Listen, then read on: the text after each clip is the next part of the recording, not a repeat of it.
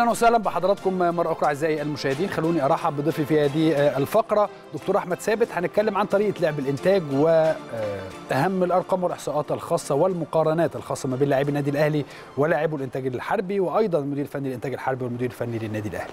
إزيك يا دكتور؟ الحمد لله تمام. أخبارك إيه؟ الحمد لله. الأهلي هيلعب بالتيشيرت الأبيض الأح... الأحمر ولا الأسود؟ الأحمر إن شاء الله. الأحمر؟ آه. متأكد؟ متأكد. ماشي. عشان انت ناس كتيرة بتسألك أنا شايف على آه. الفيسبوك الناس كتيرة بتسألك إن الأحمر ولا الأسود؟ هو الأح... هو في كلام طلع من امبارح واول امبارح إن الأهلي هيلبس الأسود لأ هو الأهلي النهارده هيلبس التيشيرت الأحمر لأن ده أصلا كمان ماتش الأهلي يعني ماتش آه. الأهلي الأساسي في ما يعتبر على ملعب الأهلي. يعني تمام. إن شاء الله هنلبس الزي الأحمر يعني. أحمر أبيض أحمر. آه بإذن الله. صح كده؟ آه. طيب. آه عندك إيه النهارده هنتكلم فيه؟ لأنه آه النهارده مباراة آه تاني مباراة في الدوري العام المصري ومباراة صعبة. الكل ينتظر ماذا سيفعل النادي الأهلي. آه، اول حاجة طبعا النهارده مباراة يعني أكيد محطة صعبة من ضمن المحطات اللي بتقابل ريني فايلر في بدايته مع النادي الأهلي. بتقابل النهارده مدرب مخضرم زي كابتن مختار مختار. آه، عنده خبرة بيحب يلعب المباريات الكبيرة قوي اللي هي قدام الأهلي وقدام الزمالك. تحس إن هو بيحب يتكتك حتى في السنة اللي فاتت آه، في الموسم الماضي تعادلنا معاه في الدور الأول. فالمباريات بتاعته بتبقى صعبة جدا. يمكن النهارده أنه ندخل سريعا على طول في المقارنات مقارنة ما بين رينيه فايلر وما بين كابتن مختار مختار يمكن طبعا كابتن مختار عنده آه، 67 سنة رينيه فايلر عنده 46 سنة آه، كابتن مختار ماسك الإنتاج الحربي من 20 مارس 2017 يعني بقاله أكتر من سنة بقاله سنتين أو أكتر من سنتين لعب مع الفريق 87 مباراة كسب. أيوه. 26 خسر 30 اتعادل 31 احرزه 92 هدف ودخل شباكهم 98 هدف مم. ريني فايلر طبعا لعب أربع مباريات كسب الأربعة ما تعادلش ولا ما خسرش أحرز 10 أهداف ودخلت شباكه هدفين هو أول اختبار حقيقي زي ما الناس بتقول النهارده. أول اختبار حقيقي هم قالوا أول منافس كبير حاجة غريبة جدا ماشي خلينا نكمل تاريخ مواجهات. النادي الأهلي آه آه، مع كابتن مختار مختار يمكن ده بقى شرح مفصل. أيوه. لتاريخ مواجهات كابتن مختار مختار بالتفصيل بشكل عام لما كان ماسك آه، بتروجيت لما كان ماسك المصري كل لما حاجة، كان آه. كل حاجة هن... هن... يعني هنتكلم على كمان قابل كام مدرب وقابل. جمال والجوزيه قد إيه وكده يمكن هو لاعب النادي الأهلي 24 مباراة فاز أيوة. في مباراة واحدة كانت قدام مانويل جوزيه اتعادل 8 خسر 15 أحرز 19 هدف ودخل شباكه 45 هدف مم. قدام النادي الأهلي مم. نبص بقى على بالتفصيل ال 24 مباراة دول كانوا إزاي يعني النهارده المواجهة ال 25 لمو- لكابتن مختار مختار قدام النادي الأهلي ال 24 منهم 10 قدام مانويل جوزيه. آه. فاز واحدة ومانويل جوزيه كسب سبعة وتعادلوا اثنين النادي الأهلي أو مع مانويل جوزيه أحرزوا 20 هدف وكابتن مختار أحرز 8 أهداف. مع حسام الكابتن حسام البدري لعب سبع مباريات ما كسبش ولا مباراة خسر أربعة وتعادل ثلاثة يعني هو تعادل قدام مانويل جوزيه اثنين وتعادل قدام حسام البدري ثلاثة مع كابتن فتحي مبروك خسر المباراتين. مع بونفرير الهولندي اتعادل مباراة وخسر مباراة.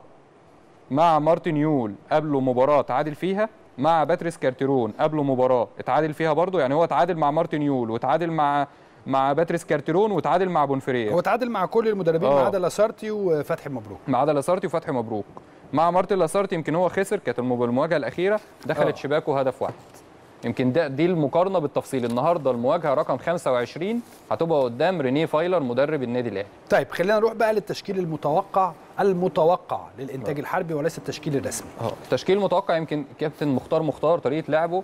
بكل تأكيد يعني كابتن مختار قدام النادي الأهلي 4 3 2 1 وأنت مغمض عينك كده قدام الفرق الكبيره 4 3 2 1 دايما بيلعب بليبرو في وسط الملعب. آه. ودايما بيلعب دفاع compact أو دفاع منظم وبيعتمد على الهجمات المرتدة في ظهر. الظهيرين وبيسموها شجرة الكريسماس أيوة. اللي هي الثلاثه الارتكاز دول. يمكن في حراسة المرمى عامر عامر وكان واحد من أفضل الحراس في الموسم الماضي. الاثنين المساكين محمد بازوكا ومعاذ الحني الباك اليمين سيد شبراوي وده كان بيلعب في أسوان. أحمد شديد قناوي وهو بيواصل برضه تألقه كل سنة. بيبقى واحد من أفضل الباكات الشمال في الدوري ما بياخدش حقه بصراحة اعلاميا. حتى هنتكلم دلوقتي على خطورته في المباراة الأولى. يمكن هو بدأ المباراة اللي فاتت بالثلاثه الارتكاز. كانوا محمود عادل وغنام محمد وكريم ومحمد فييرا. محمود عادل ومصطفى الجمل ومحمد فييرا. المباراة دي أتوقع إن هو هيدخل أيمن الطرابلسي اللي هو القادم من النجم الساحلي بنسبة كبيرة. ليه؟ لأن هو اداله في المباراة الأولى في الشوط الثاني من أول من أول دقيقة. فواضح إن هو عايز يجهزه للمواجهة دي. أيمن الطرابلسي ده كان بيلعب في النجم الساحلي. هو منتقل إعارة موسم للإنتاج الحربي. هو مميز يمكن إحنا معانا فيديوهات ليه. هو مميز بإن هو لعيب قاطع كرات لعب قدام نادي الزمالك مع النجم الساحلي. لعيب عامل زي حسام عاشور كده اللي هو بيقطع كورة وبيسلم لعيب قوي برضه بدنيا عنده خبرات بيلعب في النجم الساحلي لعب دوري أبطال أفريقيا لعب كونفدرالية لعب دوري تونسي. هو اللي قدامنا على الشاشة يمكن معانا بعض اللقطات ليه. ده كان قدام نادي الزمالك. هنلاقي السهم كده بيجي عليه كلون أخضر أول لما بيلمس الكورة أهو. واضح إن هو لعيب آه، يعني كابتن مختار النهارده بكل تأكيد هيلعب بثلاثة ارتكاز فأكيد آه. أيمن الطرابلسي حتى لو ما بدأش هيكون له دور في الشوط الثاني لأن أيمن الطرابلسي القادم من النجم الساحلي لعيب ارتكاز دفاعي مهم جدا. أيوه. فكابتن مختار برضه عينه حلوة في الاختيارات خاصة في الأفارقة. النهارده خطورة الإنتاج الحربي كلها في الأربعة أفارقة بتوعهم. هنتكلم لما نوصل لهم آه. هنتكلم عنه يمكن أيمن الطرابلسي ده اللي قدام قدامنا على الشاشة لقطات ليه لعيب بيعرف يسلم عنده الرؤية ولعيب قاطع كرات كويس. يمكن دي كان المباراة بيلعب في نادي كبير كمان. آه. في النجم وده الساحلي بيفرق خلي بالك. آه وقادم من ال- يعني أعارة موسم. هو آه، جاي موسم أعارة موسم. بص حضرتك لا اللقطات ليه برضه بيسلم ودي كانت قدام نادي الزمالك. ده مصطفى فتحي وباسم مرسي وكهربا. يمكن دي بعض اللقطات لأيمن الطرابلسي. الاثنين الارتكاز التانيين مصطفى الجمل ومحمد فييرا. محمد فيرا القادم من من بتروجيت. آه. اللعيب اللي كان بيلعب طرف هو كابتن مختار بيوظفه كارتكاز ثالث تمام. يمكن هو عندهم الاحتياطي برضو غنام محمد وكريم لالا. يمكن هو الثلاثه الارتكاز اللي هم الثلاثه اللي في وسط الملعب. واحد بنكهة دفاعية بحتة اللي هو أيمن الطرابلسي على اليمين مصطفى الجمل وعلى الشمال اللي بيبقى ناحية الشمال ده بيبقى هجومي نوعا ما. فبعض الناس تشوف طريقة الإنتاج في بعض الأوقات إن هي بتتحول ل 4 2 3 1 ليه؟ لأن الارتكاز الثالث ده هو اللي بيحاول بيخش كصانع ألعاب والطريقة تتفرد كده يتحول 4 2 3 1 بدخول اللعيب الثالث ده اللي هو محمد فييرا أو كريم لالا اللي هو الاحتياطي بتاعه. فدول الثلاثه الارتكاز بتوع الإنتاج الحربي. الاثنين الأطراف المهمين جدا وأخطر اثنين لعيبة في الإنتاج الحربي على مستوى السرعات مامادو نياس اللعيب الجناح الموريتاني اللي كان بيلعب في الدوري اللبناني ده اللي هيلعب النهارده في ظهر علي معلول. مامادو نياس اللي بيلعب ناحية اليمين. وموسى ديوارا طبعا كلنا عارفينه من السنة اللي فاتت لعيب سريع ولعيب قوي جدا بدنيا واتطور بشكل كبير جدا والمهاجم قدام محمد رجب. دايما بصمة كابتن مختار مختار في كل موسم إن هو بيصنع فراودة.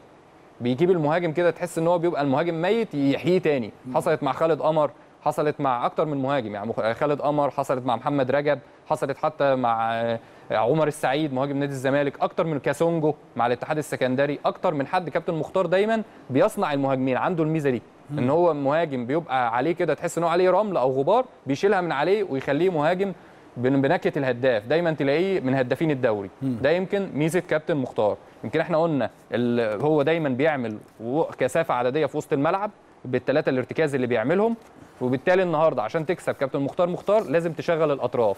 والنهارده أصلا ميزة طريقة فايلر إن هو طريقته أصلا بتعتمد على الأطراف. علي معلول وأحمد فتحي أو محمد هاني اللي هو في ناحيه اليمين وناحية الشمال.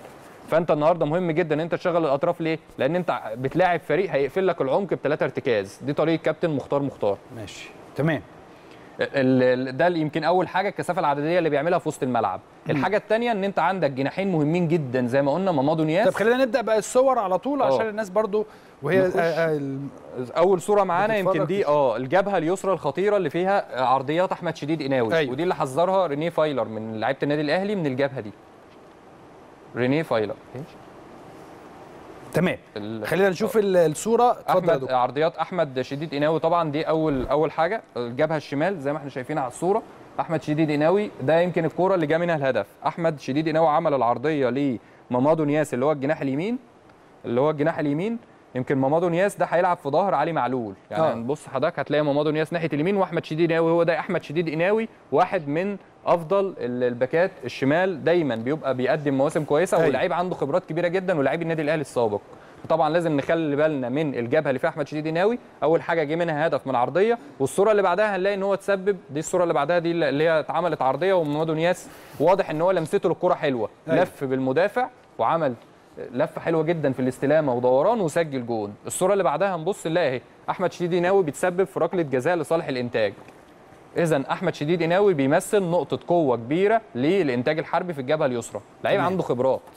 يعني لو بصينا حتى على أرقامه هنلاقي المقارنة ما بينه وما بين علي معلول ما نوصل للمقارنة لكن خلينا نتكلم في بقية الصور لو عندنا أيوة. خلاص لا يبقى خلينا نروح لمقارنة ما بين علي وما بين دي الجبهة اللي هي. الجبهة الشمال القوية آه. اللي هي فيها أحمد شديد قناوي طبعا الجبهة الشمال القوية علي معلول وأحمد شديد قناوي في النادي الأهلي يبقى أحمد شديد قناوي الإنتاج الحربي وعلي معلول في النادي الأهلي يمكن علي معلول 29 سنة أحمد شديد 33 سنة يمكن أحمد شديد قناوي معاه أربعة بص حضرتك على البطولات بتاعته. واخدها مع النادي الأهلي أربعة دوري اثنين كاس سوبر أفريقي واحد سوبر مصري ثلاثة دوري أبطال أفريقيا. يعني لعيب عنده خبرات أفريقية كبيرة جدا. علي معلول عنده ثلاثة دوري مصري. أفريقية ومحلية. كاس آه كاس مصر كاس سوبر دوري تونسي هداف دوري تونسي. فأنت بتتكلم على باكين شمال من في منتهى القوة. علي معلول لعب 291 في كل الأندية. مسجل 51 هدف وعامل 71 assist.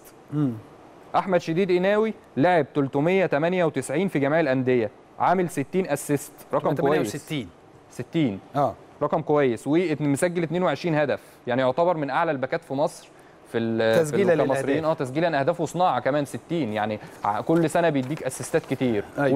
والجوله الأولى صنع هدف وتسبب في هدف اللي هي الجبهة اليسرى اللي فيها أحمد شديد قناوي نخلي. بالنا منها النهارده. أعتقد إن هيبقى قدامهم سواء محمد هاني أو أحمد فتحي وحسين الشحات يخلي بالهم من الجبهة دي لأن فيها أحمد شديد قناوي وفيها موسى ديوارا الاثنين في منتهى القوة الجبهة الشمال للإنتاج الحربي. خلينا نروح بقى لمقارنة ما بين مهاجمي الفريق أو على الأقل زي اللي اتلعب آخر مباراة جونيور أجاييه ومحمد رجب. طبعا. جونيور أجاييه واحد زي ما قلنا إن هو واحد من أفضل المهاجمين وقلنا إن هو سر من أسرار تألق النادي الأهلي في الفترة الأخيرة وجود جونيور أجاييه كمهاجم وهمي. جونيور أجاييه عنده 23 سنة لعب في الدوري 65 مشاركة مسجل 21 هدف وعامل 15 assist محمد رجب 29 سنة. لعب في الدوري 128 مشاركة أكتر من اجاييه يعني يعني اجاييه لعب 65 وهو لعب 128 مسجل 33 هدف وعامل 5 اسيست يمكن هو مسجل في الجولة الأولى هدف. زي ما قلنا بصمة كابتن مختار مختار في المهاجمين عنده محمد رجب وإحنا عندنا الناحية الثانية جونيور اجاييه واحد من أفضل المهاجمين اللي بتنزل تسقط للخلف.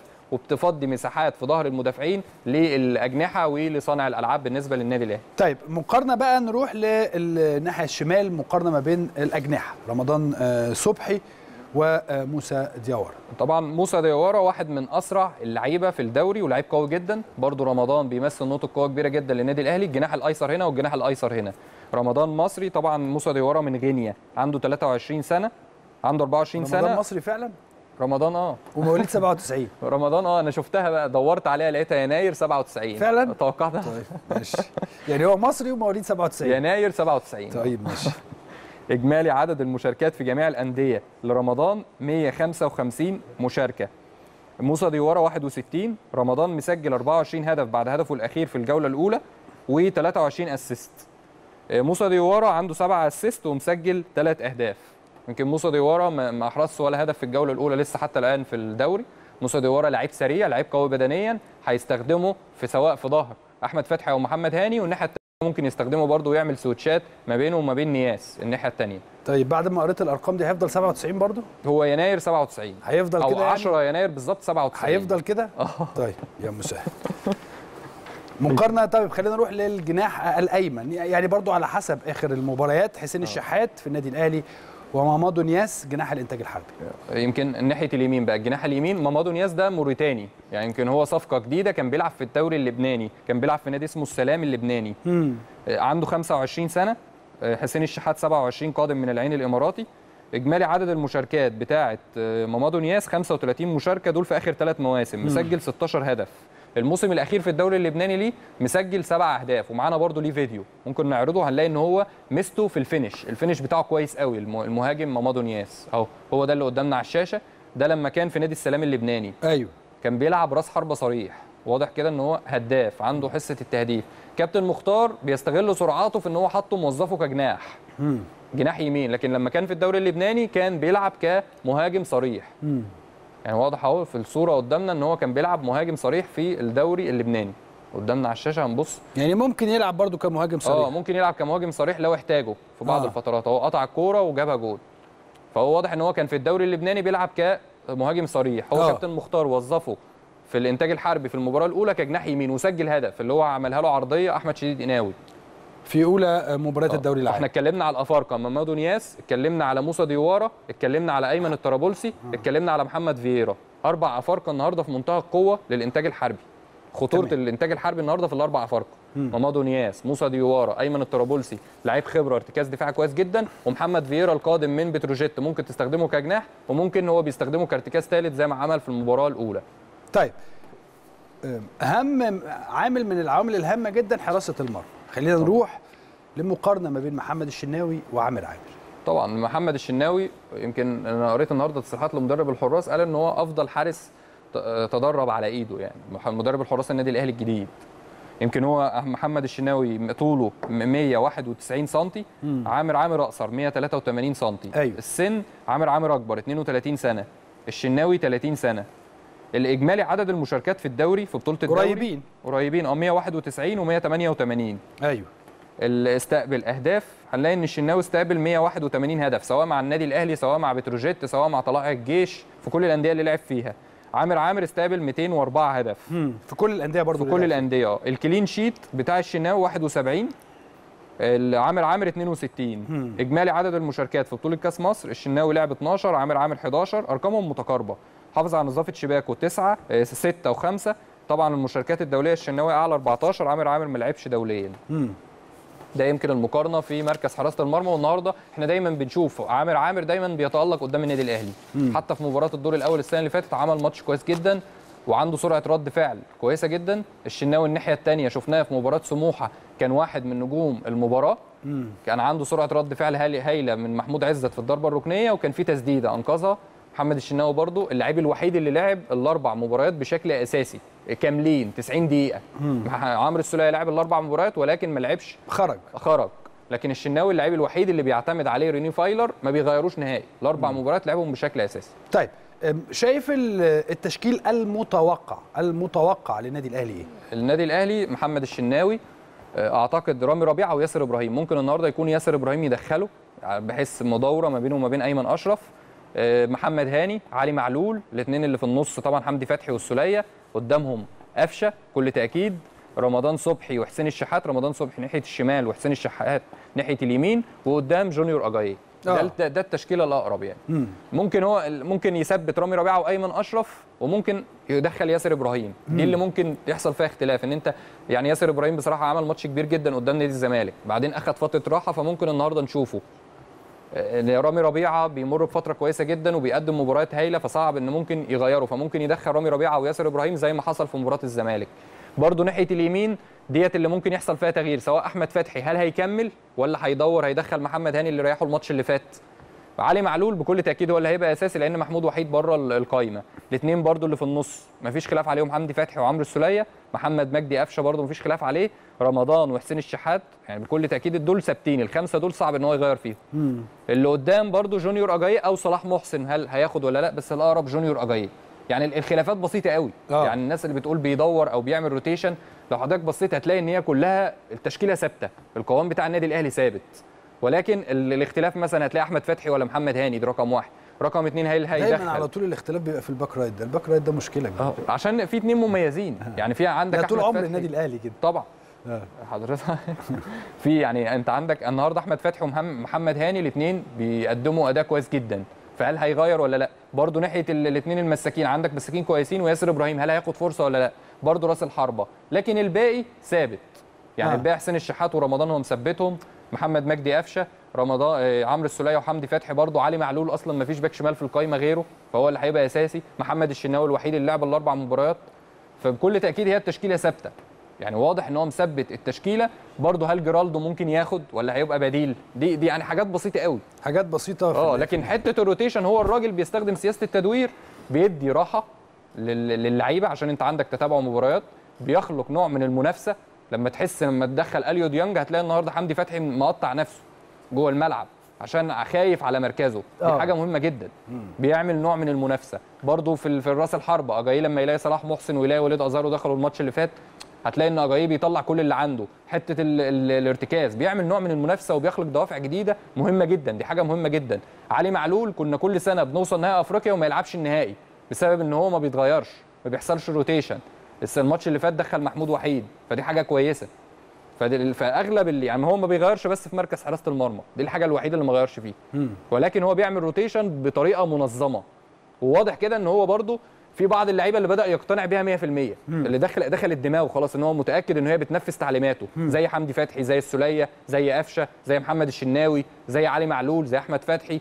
اللعيبة دي واضح اللي هي القوام الأساسي بتاع الفرقة. طيب. لكن التغيير بيبقى في حاجة بسيطة. خلينا نروح لوصول الفريق الأول لكرة القدم بالنادي الأهلي إلى آه، ملعب السلام في آه، في مدينة السلام. زي ما حضراتكم آه، شايفين وصول ريني فايلر وبقية اللاعبين.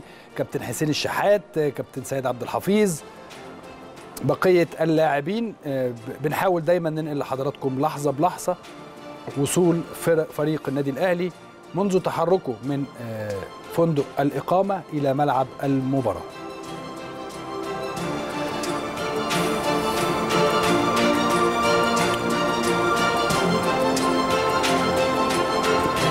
علي معلول بقية اللاعبين زي ما حضراتكم شايفين آه، ووصولهم إلى آه، استاد السلام. محمد هاني لسه طبعا بعد قليل هنقول لحضراتكم التشكيل الرسمي للنادي الأهلي. حتى الآن لم آه، يخرج التشكيل الرسمي من آه، آه، مدير الإداري كابتن ماهر عبد العزيز. ولكن قبل ما يخرج أو أول ما يخرج على طول هنقوله لحضراتكم على الهواء مباشرة من سيكون في التشكيل الرسمي للنادي الأهلي. ممكن يبدأ بأزارو برضه. آه هنشوف. يعني آه. كلها إيه خمس دقائق 10 دقائق بالكتير وهنعرف آه مين التشكيل الرسمي للنادي آه الأهلي. مجموعة اللاعبين الحقيقة كلهم آه عندنا ثقة كبيرة جدا فيهم. أي حد هيبدأ يا دكتور هيبقى طبعا. آه، جمهور النادي الأهلي بيثق فيه بشكل كبير. دي لحظات وصول الفريق الأول لكرة القدم بالنادي الأهلي إلى ملعب المباراة. شريف إكرامي أحد كباتن فريق النادي الأهلي ووصوله إلى الاستاد. رمضان صبحي.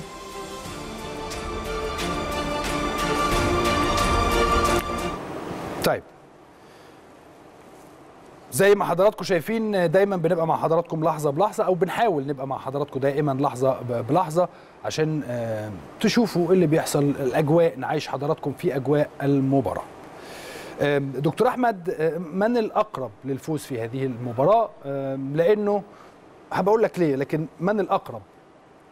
أكيد أعتقد يعني الأقرب النادي الأهلي إن شاء الله. النادي الأهلي بيمر بفترة كويسة جدا أربع مباريات مع ريني فايلر كمان بتقدم كرة كويسة جدا. ولكن المباريات ديت آه، يمكن ريني فايلر بيخلص بدري. فإحنا لو استمرينا على السياسة دي أعتقد إن المباراة مش هتتعقد إن شاء الله يعني. دايما لما بتجيب هدف طيب. بدري في أول 15 دقيقة بتسهل المباراة كتير. خلينا نروح لزميلنا كريم أحمد من ملعب المباراة يطمنا على كل الأمور في ملعب استاد السلام. اتفضل يا كريم. كل التحية ليك يا كابتن إسلام الشاطر. برحب بيك في البداية وبرحب بكل نجوم الاستوديو التحليلي جمهور النادي الأهلي. إن شاء الله بإذن الله بإذن الله إن شاء الله يسهلوا مباراه النادي الأهلي في سلسلة الانتصارات والأداء المميز تحت قيادة مستر ريني فايلر المدير الفني اللي بصماته واضحة بشكل كبير جدا يا كابتن إسلام في التدريبات في الكرات الثابتة في العرضيات أمور كثيرة جدا بيتم تطبيقها في التدريبات تصحيح أخطاء بشكل مستمر قراءات فنية ومنها أيضا كمان الراجل يمكن لاكثر من مباراة بالتحديد المباراة الأخيرة لنادي الإنتاج الحربي أمام نادي مصر وفوزه بنتيجة 3-0 الراجل اتفرج على المباراة بشكل جيد جدا فرج اللعيبة على المباراة اتكلم على نقاط القوة والضعف والمهام الهجومية والدفاعية لخط الدفاع والهجوم والمنتصف. النهارده هنشوف غلق مساحات بشكل كبير يعني من خلال متابعتنا للتدريبات الأخيرة لفريق النادي الأهلي. الراجل بيحاول إن هو مع فريق النادي الأهلي يحفظ جمل وفي نفس الوقت يكون في الخطوط متقاربة. نقل الهجمة بشكل باقل باص في الملعب. الراجل شغال على هذا الأمر لكن بشكل عام حالة التركيز اللي شايفينها في فندق الإقامة للاعبي النادي الأهلي قبل التحرك والوصول إلى استاد السلام هي اللي بتخلينا عندنا ثقة كبيرة إن النادي الأهلي بينزل كل مباراة هي مباراة كاس وليس مباراة في بطولة الدوري العام. بالفعل الفريقين وصلوا إلى استاد السلام نادي الإنتاج الحربي والنادي الأهلي. لسه طبعا التشكيل لم يظهر حتى الآن وأيضا اللاعبين اللي يكونوا خارج القائمة بعد الاختيار مستر فايلر 21 لاعب. إن شاء الله يا كابتن إسلام تكون المباراة النهارده. تحكيميا ناخد حقنا في الكرة إن شاء الله بإذن الله فنيا. والروح المعنوية كالعادة اللي بنرن عليها للاعيبه النادي الأهلي تكون متواجدة رغم عدم وجود الجماهير. كنا بنتمنى يكون في عدد من الجماهير عدد قليل. جمهور النادي الأهلي غير في المباراة لكن إن شاء الله بإذن الله ثقتنا في اللاعبين ونحصد ثلاث نقاط يكونوا مهمين في بطولة الدوري العام. أنا معاك لو فيها استفسارات يا كابتن إسلام. بصيت على أرض الملعب يا كريم عشان تشوف هل أرض الملعب جيدة. طبعا ملعب السلام من الملاعب الجيدة جدا ولكن دايما مع بدايات أو في في الخريف ومع بدايات الشتاء بتبقى الأمور أصعب شوية. باكد لك يا كابتن اسلام طبعا يمكن نقطة مهمة جدا وهي أرضية الملعب لكن الشغل الكبير اللي تم بذله شغله في استاد السلام وفي كل الاستادات في بطولة الأمم الأفريقية اللي كانت ليها مردود كبير جدا. لا باكد لك أرضية الملعب أكثر من رائعة مفيش نجيلة مش عالية يعني في تهذيب وفي أمور كثيرة جدا بتتم وصيانة مستمرة. لاستاد السلام الاستاد اتطور بشكل كبير جدا على مستوى الغرف على مستوى الممرات الدخول الخروج وبتحديد كمان أرضية الملعب. لا النهارده إن شاء الله بإذن الله يعني أرضية الملعب تساعد النادي الأهلي النادي الأهلي ما بيكون في أرض جيدة ما فيهاش مطبات بيطبق جمله اللي بيتدرب عليها بت- بتزيده حماس وتركيز لكن بشكل عام أرضية الملعب جيدة جدا وهتساعد إن شاء الله النادي الأهلي في الحصول بإذن الله على ثلاث نقاط. ده كل تمنيات أكيد جمهور النادي الأهلي. كريم كان في كلام على أن وليد سليمان ومصطفى شوبير ومحمود وحيد خارج القائمة. أه، هل الكلام ده صحيح ولا لأ؟ يمكن حتى هذه اللحظة مش هقدر اكد على وليد سليمان لكن مؤكد على مصطفى شوبير لكن وليد سليمان لسه حتى هذه اللحظة لم يتم الخروج. حتى اللاعبين من الغرف اللعيبة يمكن أول ما وصلت كابتن إسلام دخلت مباشرة كلهم إلى الغرف هنا في استاد السلام. لسه مش عارفين حتى هذه اللحظة لكن في خلال دقائق بسيطة جدا هيكون معاك بإذن الله تشكيل نادي الأهلي تشكيل الإنتاج وأيضا كمان اللعيبة اللي خرجت من القائمة الخاصة بالنادي الأهلي. جزيلا يا كريم وإن شاء الله أول ما هيجي لك التشكيل تقوله لنا على طول ونرجع لك مرة أخرى لقراءه تشكيل المباراة. شكرا جزيلا زميلنا كريم أحمد من ملعب المباراة استاد السلام زي ما حضراتكم عارفين بس معلش هو طبعا استاد السلام بتبقى تحت الأرض شوية فبتبقى العملية عملية وجود إرسال بتبقى صعبة شوية. فهنحاول برضو مرة تانية إن إحنا نجيب زميلنا كريم أحمد من ملعب المباراة يقول لنا على التشكيل الرسمي لهذه المباراة. أنا بشكرك شكرا جزيلا يا دكتور أحمد. إن شاء الله نتقابل بعد نهاية هذه المباراة. تقول لنا أهم الأرقام ومن هو نجم المباراة من حيث الأرقام ومن حيث طبعا دائما بتبقى الأمور متوافقة مع. الجماهير بإذن الله يعني بإذن الله بالتوفيق الأول للنادي الأهلي وإن شاء الله نتقابل بعد المباراة. شكرا لحضرتك. شكرا جزيلا دكتور أحمد ثابت. هنطلع نشوف تقرير لمواجهات النادي الأهلي أو تاريخ المواجهات ما بين النادي الأهلي ونادي الإنتاج الحربي. وبعد هذا التقرير ثلاثة من نجومنا الكبار النجم الكبير الكابتن ماهر همام النجم الكبير كابتن شريف عبد المنعم النجم الكبير كابتن أحمد بلال. نتكلم عن أهم الخطوط أو أهم الخطوط العريضة التكتيكية اللي موجودة في النادي الأهلي ونادي الإنتاج الحربي بعد التقرير والفاصل. نستقبل نجومنا الكبار.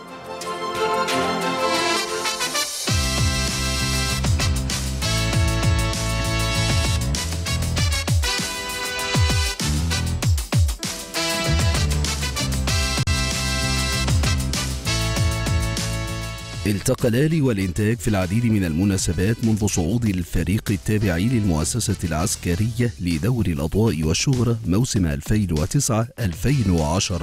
لعب الفريقان سويا 15 مباراة حقق الأهلي الفوز في 11 مناسبة انتهت أربع مباريات بنتيجة التعادل ثلاث منها بنتيجة التعادل الإيجابي ومباراة وحيدة بنتيجة التعادل السلبي. لم يتذوق الإنتاج الحربي طعم الفوز على النادي الأهلي. يعد أحمد فتحي ظهير أيمن الفريق الأول للأهلي هو أكثر اللاعبين ظهورا في مباريات الأهلي والإنتاج الحربي.